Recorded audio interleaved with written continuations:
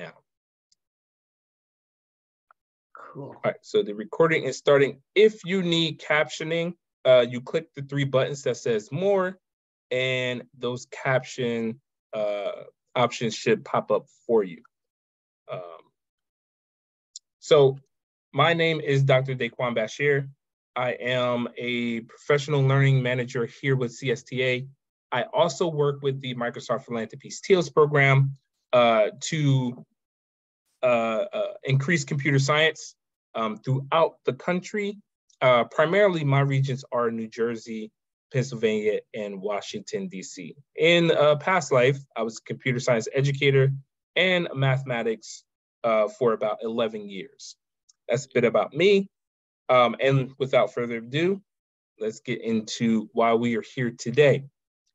Uh, today's topic is uh, centered around professional growth and identity, but also can have some elements of uh, uh, uh equity and inclusion uh, as we're thinking about how do we integrate computer science into variant, various topics. And our speaker for today is Dr. Joseph, and I will allow her to present herself to you all. Thank you, Dr. Bashir. Oh, oh, and there's some animation. I didn't even know.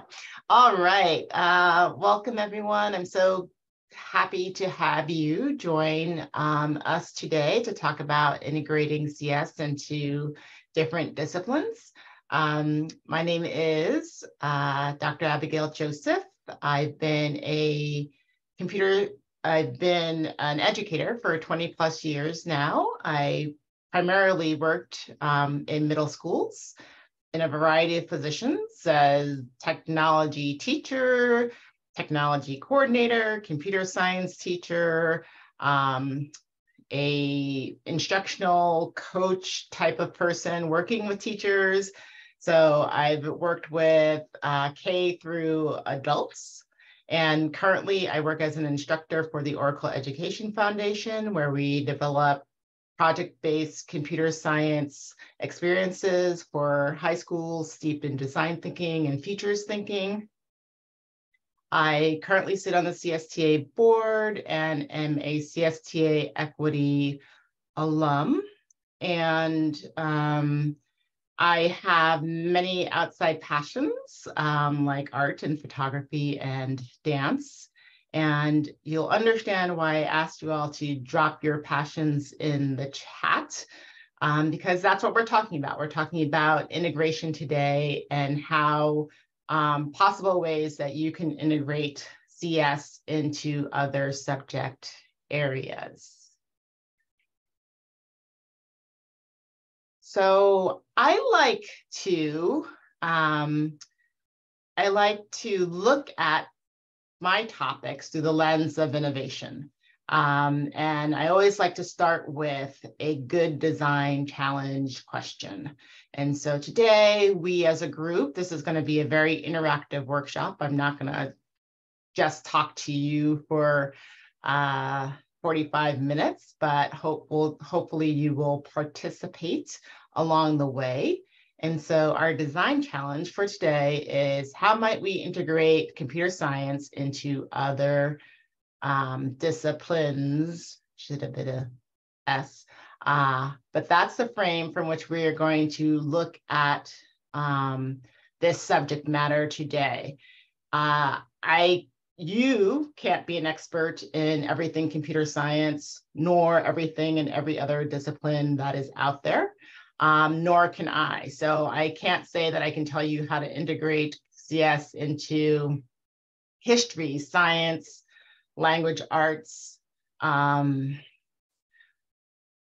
languages, I can't specifically tell you how to do that, but I can give you a framework, which I'm doing going to do today um, through design that will hopefully get you going and thinking about how you might do this for yourself in your classrooms.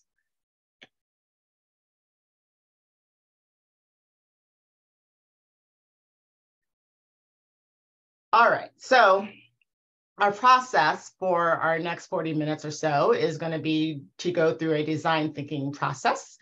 Uh, our first step is going to be to empathize with our user and gather inspiration. Then we're going to define our problem. Then we're going to generate some ideas. Um, we're going to think about what prototypes we could come up with. Um, think about the ways that we can test uh, the prototypes that we come up with, and then talk about sharing um, what you did. All right, so step one is to empathize. Um, in this picture, you see two kids um, talking. They're two children talking to each other. Um, one uh, um, black girl with braids and another uh, whispering in her ear. And um, when we're thinking about integrating different dis disciplines into computer science, we want to think about, well, why are we doing this? Who's our user? Who are we designing for when we're thinking about how can we integrate computer science into another discipline? So we're going to start with why. Um, so for me, I'll tell you a story. Most of um, most of my life, I have felt polarized in terms of which path I should be going down in terms of a career. So in high school, I discovered computer science through a summer science program um, at Bell Labs in New Jersey, if there's anyone out there from Jersey. And um, that's where I fostered a love for computer science. I also, all through my childhood, had a wonderful um, relationship with art. I like to do crafts, I like to build things, I like to draw. Um, and when it came time to go to college, I had to choose art or computer science. The practical ran out, won out, and I pursued computer science all throughout college and graduate school. And um, but when I was in college, I knew that I could not give up that art side of my brain. So I did, I took a lot of um, studio art classes, which is the picture that you see on the right, and um, or art history. At least once a semester, I had something related to art. Um, and at the time I was going through school, um, computer science was really at its budding stages. It was the dawn of the internet. The internet wasn't even a thing quite yet then. Email wasn't even a thing quite yet then. Uh, so this idea of me integrating two things together um, was not on anyone's mind, which is a whole different story when we come to fast forward to 2023, um, where there are lots of opportunities to uh, integrate computer science into a variety of disciplines. Um, so our first step stage is to think about who is your audience? Who are you designing for? Are you designing for yourself from the perspective of, ah, I want to, these are the standards that I'm trying to um, convey to my students to put into my curriculum. Um, or is it from the perspective of I really want to provide my students a more enriching experience when they're taking computer science? Um, or maybe you are a subject teacher and you're just thinking about how you might integrate, sprinkle a little computer science into what you do. So when we're thinking about our audience, we're thinking about our teacher on the left and our student on the on the right. Um, so as a teacher, you're thinking about, well, what is my classroom like? What, do, what is my objective in my classroom? Um, who might be people that I can work with? Who's the team that I'm gonna have to work with to go forward in this endeavor of integration? Um, you might even be thinking about what your passions, hobbies, and interests are. Um, maybe for you, it's about like thinking about, oh, well, this is something I'm intrigued by. Um, maybe I can pass it on to my students. Um, from the student perspective, if you're designing with your students in mind, you're thinking about their identity, their culture. What are their hobbies? What are their passions? What are their school interests? How are you going to bring them into computer science, your computer science world, um, and integrate those two things together? And as you're in, integrating those things, we're thinking about if we're thinking about empathizing, we're thinking about embracing a new perspective. So maybe we want to look at what we're teaching through the eyes of our students. Um, and we want to get curious. This whole idea of integrating is about being curious about how we can integrate CS with another discipline. Um, and some ways that we can engage in this process of just discovery of who our audience is, right, is we can think about how do we collect, use our data um, use the data that our schools provide us about our students, who they are, where they're from. Um, maybe we um, get that uh, ethnic, race and ethnic data, um, but we can also engage them. We could provide surveys. You could interview them. What do you like to do? What would you like to um, learn about in terms of compute, you know, computer programming and technology? Um, you can just observe them for a few days, and you probably will get some clues as to what their interests are and how you might be able to pull them into this computer science world. So that's your first step. First step is who's your audience? Are you, is your audience standards? Is your audience an objective getting to know your students better? Um, why do you want to integrate CS into another discipline? So go ahead and answer that question in the chat if you have an answer. Why do you want to integrate CS into another discipline?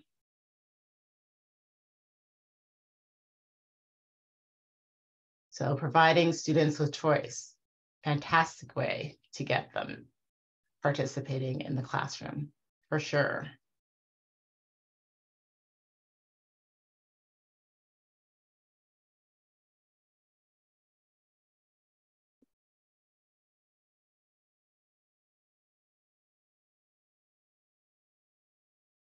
To give students more meaningful experiences in school. A great way to enrich other content areas. Love these. To get students thinking, um, to introduce possible pathways, uh, to have them think about life as a full context. This is wonderful. And sometimes the why and is because it's a mandated process, but um, and because there's a lack of CS classes, so how are we going to get and infuse that CS into other parts of what we're doing? These are fantastic. So we're going to move on to the next stage, which is to define our problem. I think that when you're approaching, when we're approaching integration, it's such a it can be an overwhelming where do i begin? How do i start? What do i do? Um, but if we have a focus problem from which we're trying to solve um, this this issue then it may become a little bit easier to brainstorm ideas of how you can actually bring in computer science into various disciplines. So we're going to take a little bit of that overwhelm of integrating seems like a really big thing because I'm already trying to figure out what the CS skills are. Now I'm talking about integrating it into another subject. Or if you are another subject um, expert, and then you're trying to think of ways that you can bring CS into your subject area, that can be overwhelming as well if you don't know where to begin.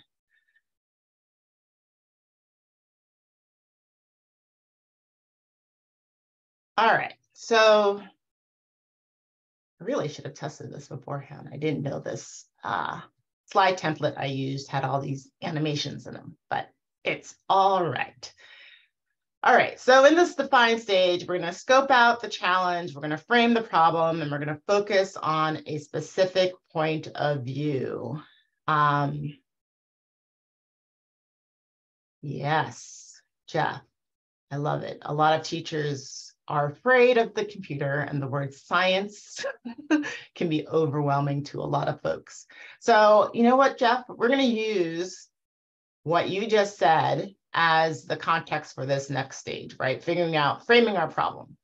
So, in framing our problem in the design thinking process, there are many ways to um, create a problem statement. One is using a point of view and there's three parts to the point of view. One is who is your user? Um, when you're defining a user, you want to be very descriptive. So I wouldn't just say my user is a student. I would get really specific. My user is a middle school student in my science classroom, or my student is a sixth grade girl in my computer science classroom that doesn't talk a lot. So as specific as you, the more specific you can be about who you're trying to design for, um, it'll give you a better frame for coming up with your ideas and solutions. The next part will be the need. What does your user need to do or feel, or how do you want them to feel? Um, and then the third piece is an insight. Why is the problem important or significant? Um, and if you've done some work in the empathy stage of maybe interviewing or observing students in action um, or observing your colleagues, there might be some things that surprise you around the conversations people are having around computer science, et cetera, that might help you frame your problem better. So as I said, I'm going to look at what Jeff wrote down here. A lot of teachers I work with are afraid of the computer and the word science to that and can be over and it can be overwhelming for folks. So let's say we're designing for uh, specifically for uh, teachers that are afraid of technology um, and things that um, this discipline that seems very complicated. And the need um, is to make them feel more comfortable with or demystify what computer science is. Um, and why is this problem good, significant? Well, because as someone said before, um, many states are now mandating computer science, um, but teachers, we don't have enough teachers to teach it. We don't have the class offerings to offer or the programs. So this is important um, so that we can have so that there are more teachers that are able to comfortably teach computer science or introduce computer science to their students. So if we put that all together, our point of view would be um, a teachers who are um, who think computer science is a very complicated subject matter that they can never teach, needs a way to um, not feel overwhelmed um, and feel more comfortable or have computer science demystified for them so that um, we have more teachers that feel comfortable with and have the ability to integrate and teach computer science in their classes, um, especially those that aren't official computer science teachers. So that's our point of view statement. We could have another point of st view statement if you're trying to focus in on your classroom teach on your students and getting to know them better. Um, then another possible statement might be um, a, a girl who sits in the corner of my classroom and doesn't seem engaged um, needs a way to um, be pulled in to the computer science curriculum and feel comfortable with it um, in order to make her feel like computer science is a discipline that she can excel at. So that could be another possible statement, a direction that you could go in in terms of thinking about who we're focusing on.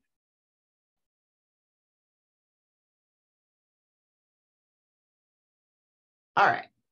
So this is the fun step. This is the crux of my presentation. This is probably where you, why you all are here, or some resources and some insights. Um, so now that we have our problem statement about our very anxious teacher, um, how are we going to get them? Um, how are we going to demystify what computer science is to them? How are we going to rope them in so that they feel comfortable teaching in this realm, in this field um, of computer science. So we are going to start our next step is to brainstorm some solutions to that problem. All right, so when we're brainstorming, this is important and I think really important for integration because I'm gonna drop a bucket full of resources to you in a moment um, of which do not be concerned. At the end, I'm going to give you the bit.ly for the slide deck, so you will have all the links to all the resources. Um, but I want you to think about what you're trying to do so then you can think about where you're going to go for resources and ideas um, to develop a solution for your problem. So when we're brainstorming, we're going for volume. We're trying to come up with all the different ways that we can answer this question about like making this very anxious teacher more comfortable with what computer science is. Um, and usually um, being visual is a big part of the brainstorming process because when you draw things in pictures, it kind of solidifies those ideas. Um, in a more concrete way than usually if you're um, just write down words. And then you're going to also go for wild ideas. Um, so, and I know that at each grade level, there's a different working atmosphere for how teachers work and collaborate together. Um, and I think that's why I always kind of liked enjoyed middle school because also teachers kind of take on the personality of the age group they teach. So middle school teachers tend to be as awkward um, and funny um, as the middle schoolers that we teach. And so, um, oh, so it's like talking about going for wild ideas. So I was talking about the dynamics really between different teachers. And I know as we go up in grade levels, teachers tend to get more and more siloed from each other, and they really streamline and focus on their discipline. Um, and so, a wild idea for your discipline might just be collaborating with a teacher in another subject area. Um, and I think for high school, that's especially a very wild idea unless you work at a, a school that um, has some underlying cultural foundation of collaboration between um, disciplines and colleagues. Mm. So reframing what computer science is, I like that comment in the chat, um, Scott. And then when you're thinking about your ideas, keep everything. Um, there's no bad idea.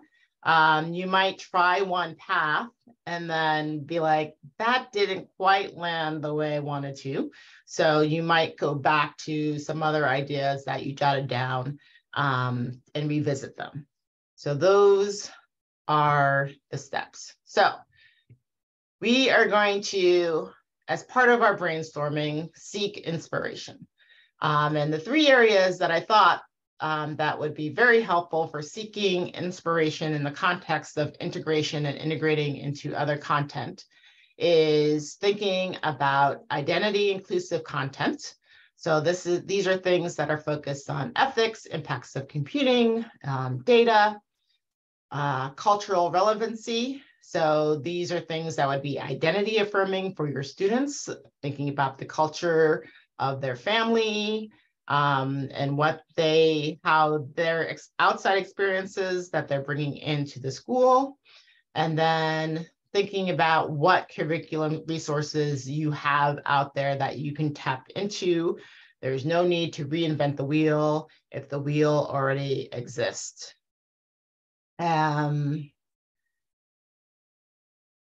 yes, biology, science is like the probably the biggest discipline that, and math, um, that really integrates nicely with computer science because there's so much that one can do with data. So I like that addition. So let's look at some of these a little bit in more detail. All right, so first we have identity inclusive content. So this is stuff, this is the easy lift. So when we're talking about integration, computer science is not just coding. I think that's the other myth, mythical thing that our computer science teacher that's afraid of computer science um, probably thinks that um, in order to teach computer science, she has to be a coder. Not necessary. Computer science, as Scott pointed, someone pointed out earlier, is problem solving, right? Um, so when we think about things that are identity inclusive, we can think about videos.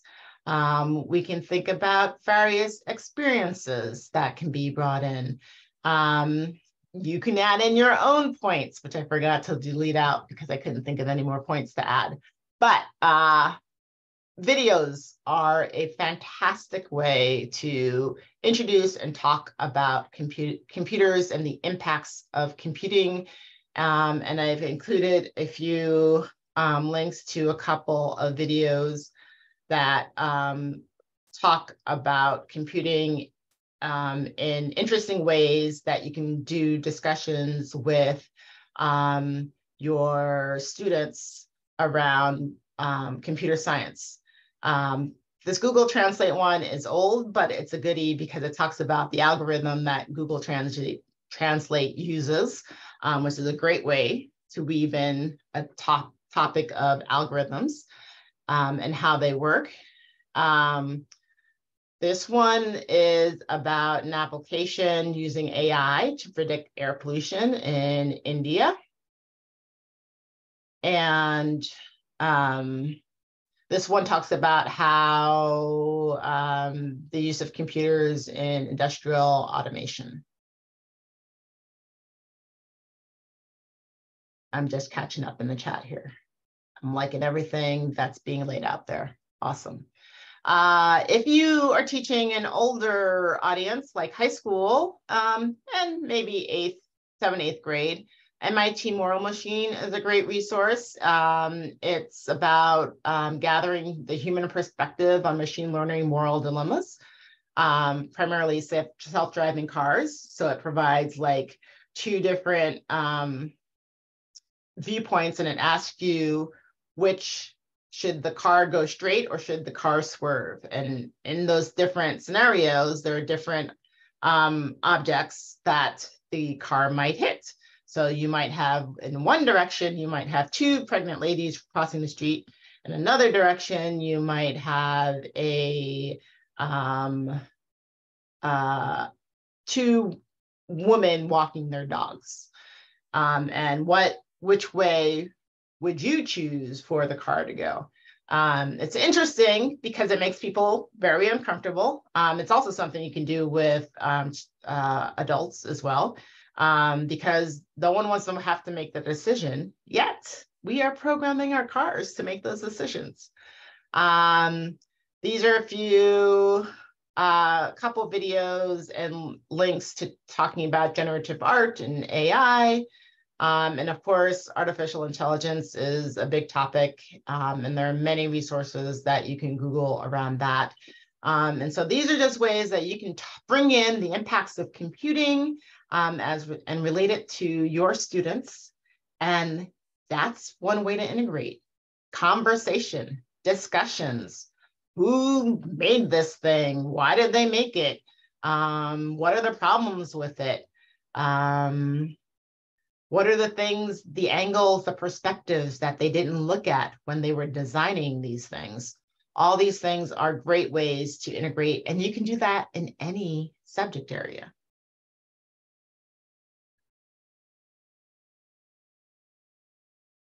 Then we can talk about making things culturally relevant. Um, so this site is a fantastic site. So I'm gonna escape out of here and just show you guys, you all some of these links. Um, so this culturally situated design tools provides various applications to look into um, cultural patterns um, from different cultures.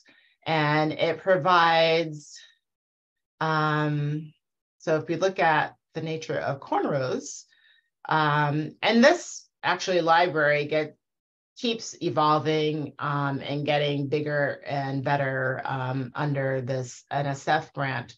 But um, in this particular, there's for this age group, and it gives you a lot of background information that you can introduce and talk and discuss with your students about. Um, and then it also provides tutorials and um, example programs to get started with and how you can utilize um, the different computer science tools to develop patterns to these different cultures. Yes, this is a fantastic um, resource, Crystal. Um, but then when we're talking about cultural relevance, we can also look at CSTA, the CS Ed Week resources. Um, the CS Heroes is a great place to talk about cultural relevance because the heroes are all a diverse group of people. And uh, did I click on here? Let's see. No. Well, that's fine. Um, and so you talk about um, cultural relevance. Here are a group of people you can curate based on who is in your classroom um, and introduce what they love to do and why they love to do it.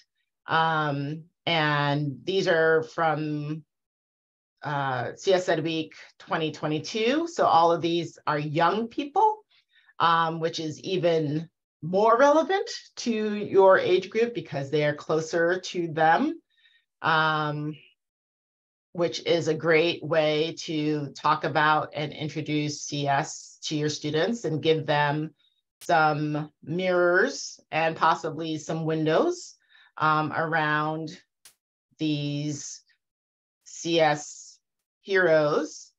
And Oh, here we go. So when you scroll down, you can also get to each of the different heroes, but um, you can go back in time to the different years um, and topics for the CS heroes.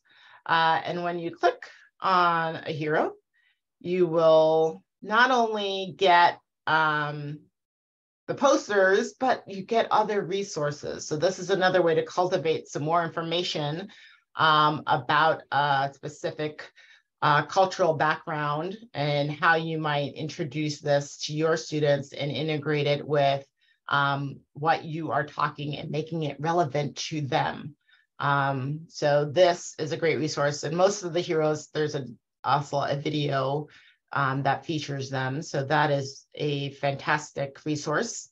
Um, and then uh, Equity Fellow Sheila Lee did a fantastic, if you want to do anything with paper circuits and circuitry, um, and maybe you can possibly figure out how to lift this to microbits, uh, this link will take you to the Chibitronics article um, that features this wonderful lesson around identity, um, and computer science that Sheila did with Chibitronics and how she introduced this idea of identity maps and lighting them up to her students. Um, fantastic way to integrate this idea of making something culturally relevant to your students. Um, and then you can think about like community solutions. What are the things that they're worried about? What are the things, the problems that are in their lives and um, that they want the problems they want to solve in their communities at in your school communities right um, and there these are these links when you get to them are links to um, some videos um, of possible thinking about how communities are solving problems with technology. This is often an angle that really interests and brings girls into the conversation because they tend to be uh, very community oriented in terms of, there you are, um, how they like to look at the world. Uh, and then you can think about their hobbies. Um, these are some videos that focus on dance and fashion and how these people are integrating computer science into their loves and their hobbies. Um, and then you can think about just like everyday innovation of things. Uh, this video is very cool. It talks about the AI and science behind some people who are trying to move, make moving sidewalk shoes. So shoes that you can wear that feel like those moving sidewalks at the airport. Um, very, very, very cool. So it's really great to think about like the variety of ways that you can be culturally relevant to your students um, when you're thinking about solutions and who you're designing for. And lastly, um, curriculum resources. So here I've got a bunch of resources that you might think about. Um, Microbit has the Do Your Bit site, which is integrated with the global sustainability goals, which is a minefield of ways that one can integrate computer science because the global sustainability goals cover everything from the human perspective to science to medical to education. Um, so that is a great place to collect uh, information on integration. Uh, I would also suggest um, if you are on social media to go on Twitter and do some searches on the previous CS Ed Week hashtags. Um, guaranteed to bring up some ideas for how to integrate CS into various disciplines, especially the one CS everywhere, because um, that was the year we talked about how CS is integrated into various areas.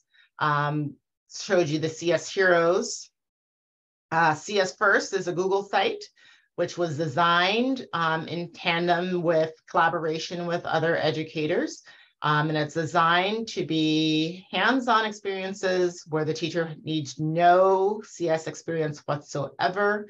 Um, uh, it gives you step-by-step how to work through these different areas with your students. And there are lots about storytelling um, and various ways to integrate um, CS into other kind of language arts types of things.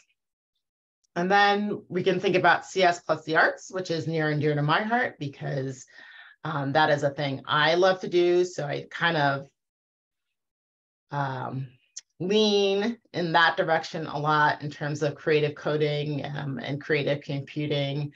Uh, but the, these are some links that you can go to if you're thinking about how might I integrate music or art into um, what I'm doing and teaching.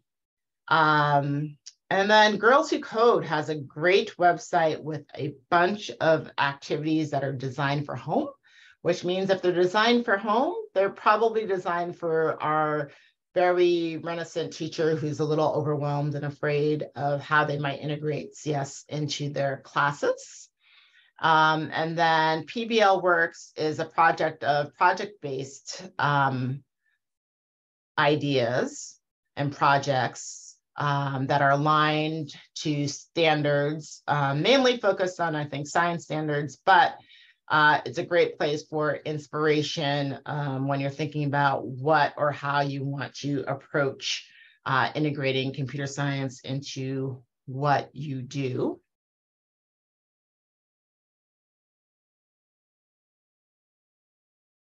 All right, and so I am all about the chat GPT. Now, I have been exploring it the past two weeks. And when I was putting together this presentation, I was all, what would chat GPT tell me to do if I asked it how to help me with ideas on how to integrate computer science with another subject area. So if you haven't gone there, um, totally worth the exploration. And I'm going to show you what I did. So we're going to try Chat GTP. And so what I did was I was thinking about science as a discipline, and I asked um, Chat GPT to tell me ways to integrate science with computer science to create lessons for my middle school students. And as you can see, Chat GPT came up with a lot of ideas. So um, from data visualization to robotics to simulations um, coding challenges. So if we're talking about just introducing it as a tool, as a short like unit, you can do a coding challenge with your students. Um, you can have them design games around science concepts. Um, you can integrate 3D printing ideas. Uh, so chat G, why can I do that? Chat um, GPT is a great use source for inspiration around integration. And then you can take it a little further. Like, so if you're like, all right, I'm going to think about my school happens to have some virtual reality equipment. So then I might ask it, all right, can you tell me um, what are, give me examples of lessons I can do with virtual reality and computer science and science in my classroom? And it'll probably spit out some really specific uh, examples. So I wanted to throw that out there as a place for inspiration as well. So we are winding down and we're at our last stages here. So we're going to talk about now that you have, you might have your idea, how do you go about prototyping that idea? So one way is to build it. And I'm going to really emphasize this prototyping method because that was something I did not do a lot of when I was in the classroom. Um, I would come up with these great ideas and then I would throw it out there and have the students do it and then be surprised by the myriad of ways that they took it and um, the things that they built.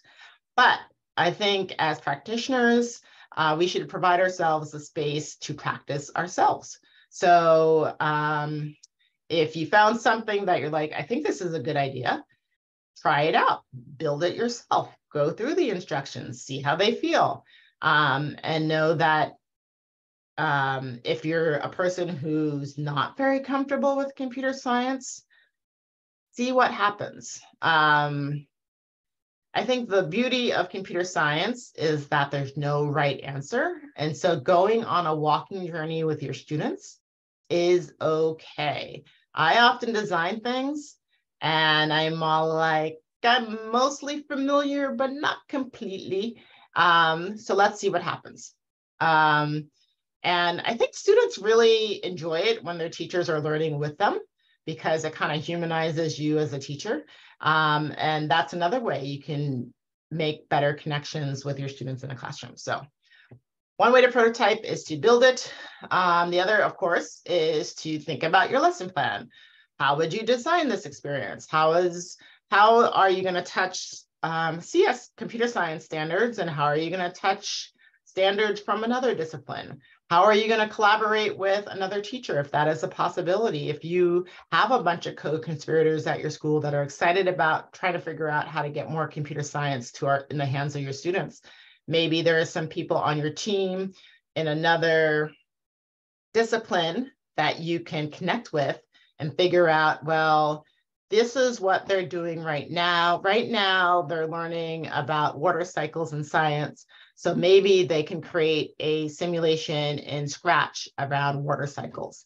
And part of the uh, skills that I want them to learn in CS is how to create a loop so that they can continually show uh, the cycle of water. So lesson planning is a way to prototype. That can be your prototype. Um, the other thing I like about design thinking is this notion of user journey maps. So thinking about who your user is and what their experience is along the life of how they're going to interact with what you're doing. So thinking about that teacher who is um, anxious around computer science. So maybe they're at the first stage, I say, all right, we're gonna try to integrate computer science into your language arts class. Oh my gosh, they're terrified, right? The next step is we'll use Scott's um, example. All right, I'm just going to tell you that computers define computer science for you so you're not scared. So computer science is about computational thinking, problem solving, and coding. Guess what? We don't have to do coding. We can focus on the problem solving side or the critical thinking side. Oh, their ears start to perk up. All right, so how are we going to do this? Well, let's start with impact videos. Let's find a video that talks about how computer science is integrated into language or just in the world. And maybe your kids can write a reflection about what they think about how computer science is in that world, right? So that's the idea of the journey map, stepping through what the experience will look like and how your user will react to it along the way. So that's a possible way um, to prototype your idea and put it into, um, make it more concrete. And the last step is to test, right? So you have this grand idea, you have planned it out, you have the lesson plan. Well, it's time to put it to the test. So you're gonna bring it to your students, you're gonna deliver it. But what you're gonna do also is capture feedback from that test. Um, and the two ways that you can capture that feedback is one is a feedback matrix, which I put right here. So you can catch the things that the students liked, um, things that they would like to have changed, questions they've had along the way, or other ideas that they brought to you. Like often when you're doing something, kids will be like, oh man, I wish I could have learned how to do this, or I really want to learn how to do this next. Those are all ideas that you can capture um, as they are doing the experience that you created for them. My favorite cap- way to capture feedback is using I like, I like, I wish, what if, or sometimes people like use I like, I wish, I wonder. And that is a great way for students to frame feedback in any scenario because um, it kind of keeps them, it gives them a structure for feedback so that they're not just saying, uh, I liked it or oh, it was okay. Um, but more they have to be more specific about, well, I like the fact that you made your racing car um, do loop-de-loops. I wish that you possibly um, gave the user more choice about the speeds at which the car was going. Um, and what if you introduce a spaceship into your game because spaceships are cool?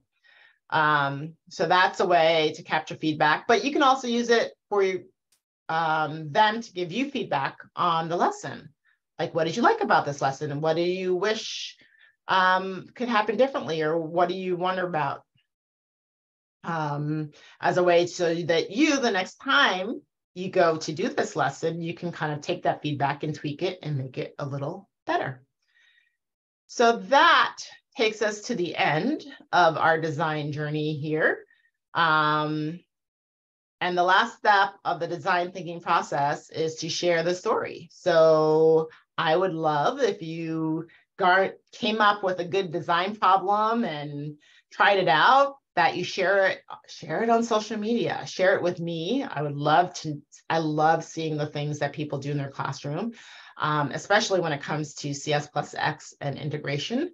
That's kind of the way I see CS, we get, see us as a community getting computer science more in the hands of more students.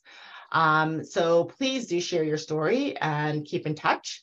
The bit.ly in the yellow orange box here is how you can get the slides um, right now, uh, but they will also be sent out after the presentation at the end. So thank you for your ears. Um, at this time, we will go to uh, Q&A. So I will stop sharing my screen for now and bring you all back so I can see you. Um, and please, any questions, comments in the chat? You can come on video, off mic. Um, love to hear.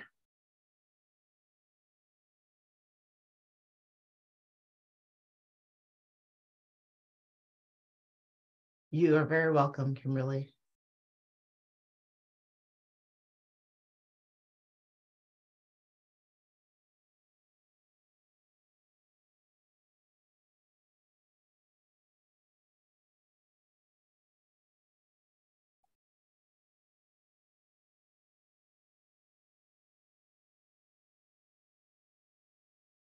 Well, let me ask you all a question that are still hanging out. Um, what are you thinking about in terms of integrating computer science now that you have um, experienced this workshop?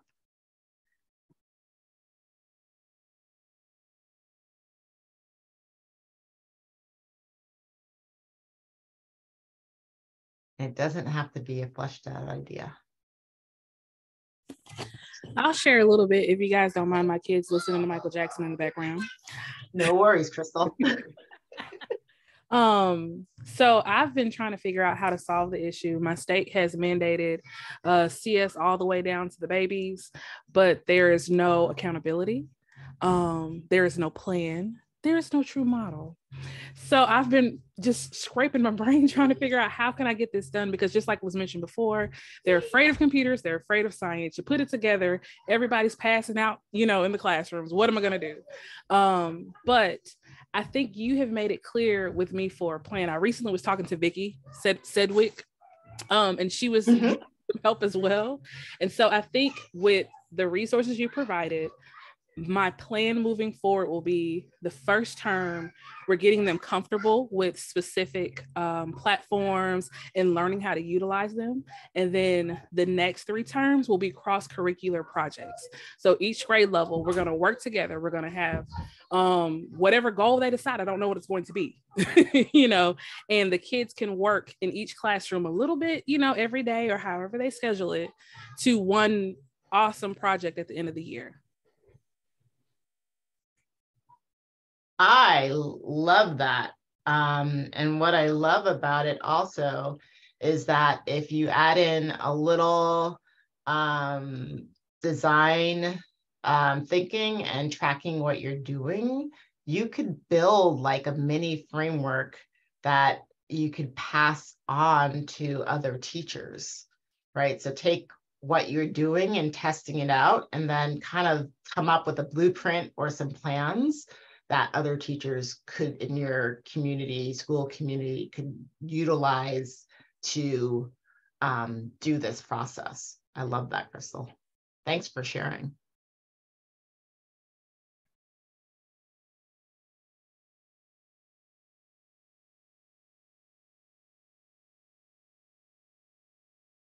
Mm, I like that, Erica.